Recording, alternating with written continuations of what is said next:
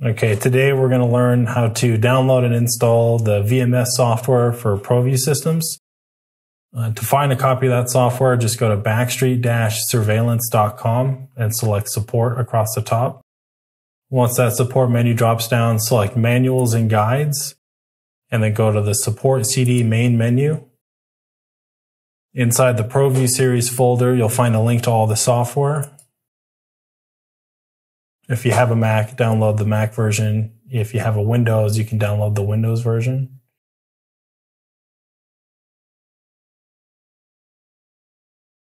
Now that we've downloaded it, we've got a copy of the installer here. So we just want to double click on it to install the VMS. You can select where to install it at or to create an icon for it. Okay, then we're going to go ahead and launch the software. There's the icon there for it, the VMS icon. Then we'll need to set a password for the software itself. So you're creating a unique password for the VMS. As well as some security questions in case that password is forgotten. Okay, then on the login screen, go ahead and select remember password and auto login. That just means you won't have to type the password in every time you want to use the VMS software or look at the cameras. Okay, so once we're into the software here, we want to click on the home icon in the upper left-hand corner and select device management. That's where we add or remove devices like cameras or NVRs. All equipment shows what devices have been added. And since we haven't added any, this is blank. So we want to go to auto search and that's going to search our network for all the equipment here that it's compatible with. So we're going to go and select this NVR here. And then we're putting in the username and password for the NVR itself. Go back to all equipment. If you've got a green light, that means you're good. If you've got any other colored light, like red or yellow, that means there's some sort of error, usually with the password. So make sure if you get that error that you double check the password you added it in under. Uh, you've also got a P2P code right here. So if you need to, you know, quickly hook up a cell phone or another computer, you've got this code at the ready. And then once you're done, you want to go back to the home page and then to main view. Main view is where you view the cameras. So we'll open up our group here. That's the NVR that we added and we just drag it into the window. If there's no cameras here, it won't put them in the window. We've got seven cameras on the system, so not all the windows are going to be filled up. Okay, so now that we're looking at the cameras, uh, there are a couple functions here that we can go over in every camera window, there's an icon for a camera. That'll take a snapshot of what this is currently showing. So if you see something live that you want to save a record of, you can hit that snapshot icon and that'll save a screenshot of that right to your computer. When you click on that icon, uh, it'll slide up in the lower right hand corner and it'll let you know where that's being saved at. The next icon is for recording video if you're seeing something live that you want to record in terms of a, a, video that's maybe a few minutes long, this is how you would do that.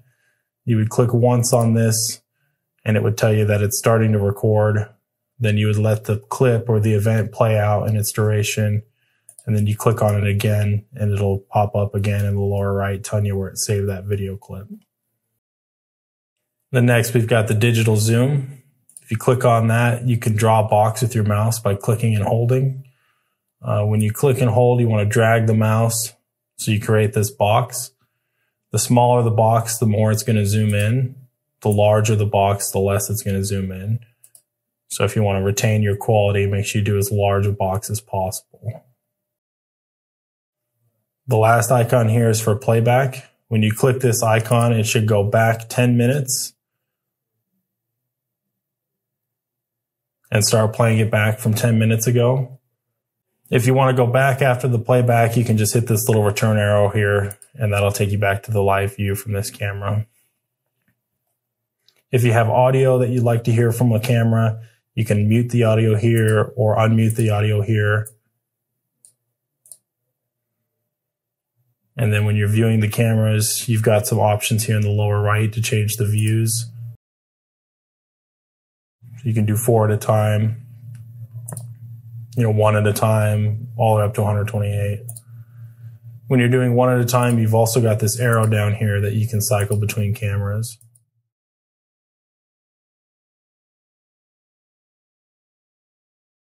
And then we've got full screen down here as well. So if this isn't quite full screen enough for you, you can hit this icon in the lower right and that'll pull your whole monitor in as the screen.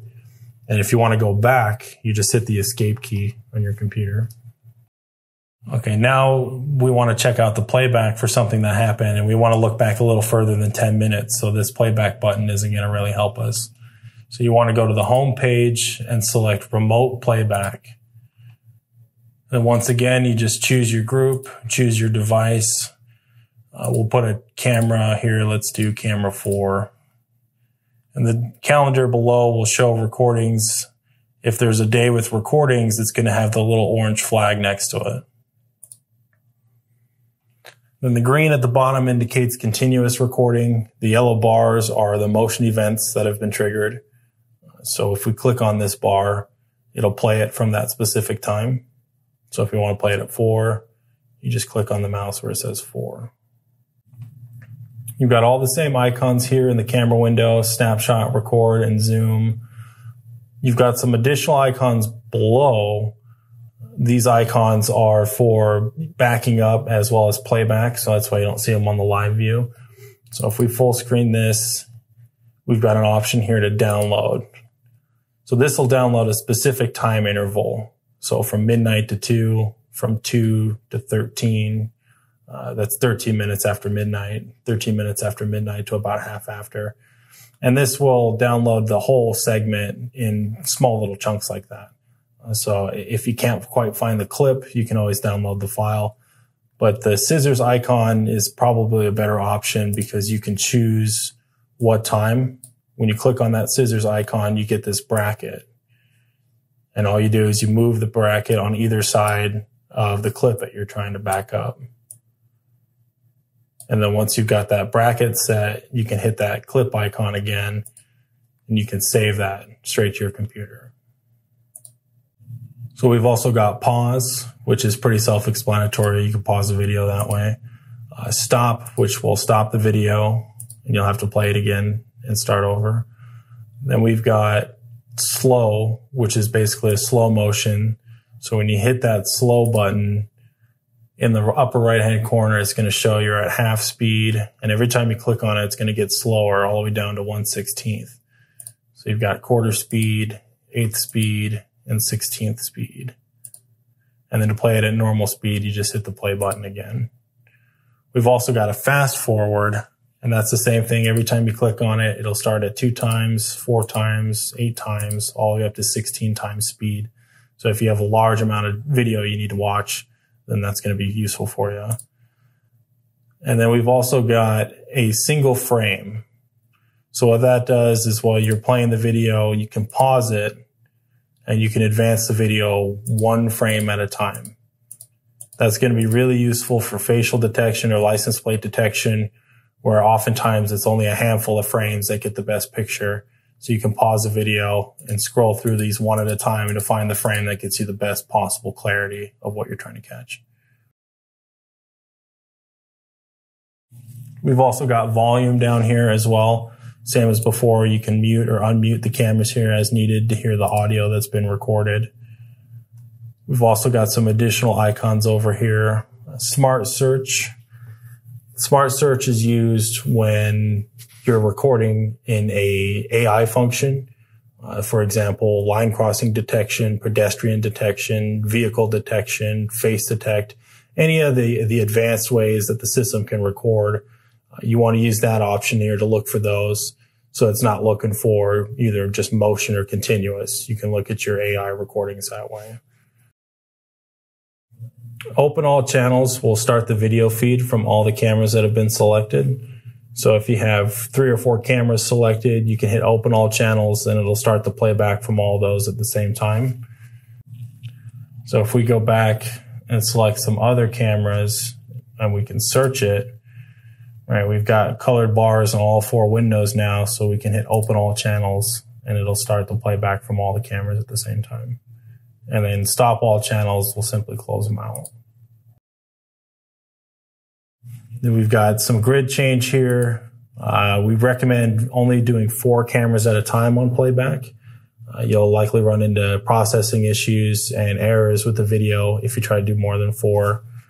And then we've got a full screen option here as well if you'd like to take a close look at any type of recording. And then down here in the lower right, we do have these plus and minus.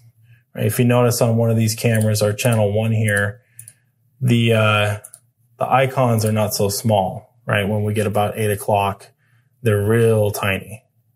So if we need to click on that icon, it can be hard to do so with the mouse when it's at its, you know, 24 hour display here.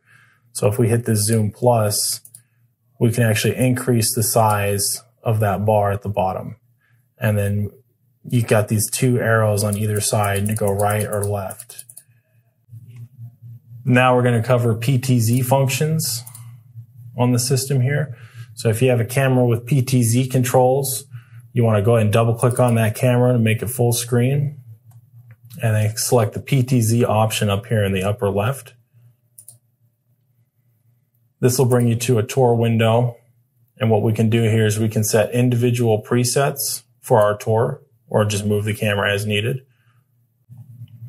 So what we're going to do here is we're just going to set a couple presets. Set that as preset one. So you hit the plus sign to set a preset, the trash can to delete a preset, and then the arrow is if the camera moves, we can move it back to that preset using that arrow.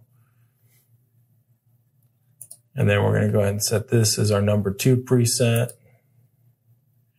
And then this one is our number three preset. Then once the presets are set, you hit the play button and it will go from one preset to the next in the tour. And we have the interval right now set as three seconds when we added these presets. So you can go all the way up to 255 seconds per preset. So that means you can either have a quick tour or you can have a slow tour, you know, that stays fixed at one location for minutes at a time. Uh, and the only real recommendation we have is to put as many presets into the tour as you can. Uh, you want as much coverage as you can get. And if you're going to have a quick, you know, 10, 15 seconds per stop tour, then you're going to want more stops to make sure that, you know, the camera's not looking away and while it should be seeing something.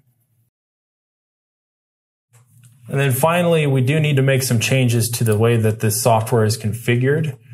Mainly, we want to go from the home page here into system config and then file config. Right? And what we want to do here is we want to change the file type to MP4. That means that you won't have to back up and convert all the files that you pull off the unit. They'll come pre-converted. And then we've also got a list here of where these files are going to be saved. So if you want to change where they're going to be saved, you just click on the drop down here and then specify, you know, what folder or, you know, where you want these pictures or videos being saved at. All right. And that's it for the software tutorial. If you guys have any questions, uh, just give us a call or send us an email and we'll be happy to help you out.